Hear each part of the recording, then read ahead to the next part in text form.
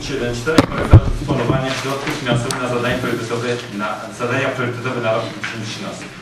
Rezygnuje się z akcji wystawka kwota 14 500 w paragrafie pierwszym.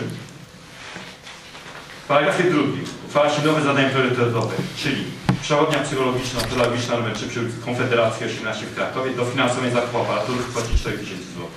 Oraz w paragrafie trzecim zwiększa się kwotę na zadania priorytetowym pod nazwą specjalny Ośrodek Szkolno-Wychowawczy nr 6 dofinansowanie modernizacji tarasu o 25 tysięcy zł, łączna kwota 30 tysięcy zł. To zadanie będzie osobną, będzie e, w osobnym projekcie, który dzisiaj będzie procedowany.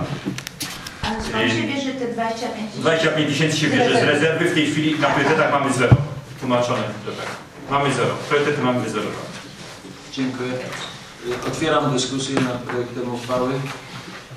Nie widzę. Zamykam dyskusję. Poddaję projekt uchwały pod głosowanie. Kto z Państwa jest za przyjęciem uchwały proponowanej?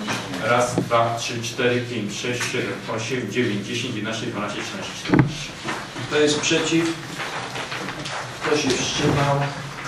Dziękuję. Stwierdzam, że uchwała została podjęta. Y, Kolejna uchwała kontroli. 7,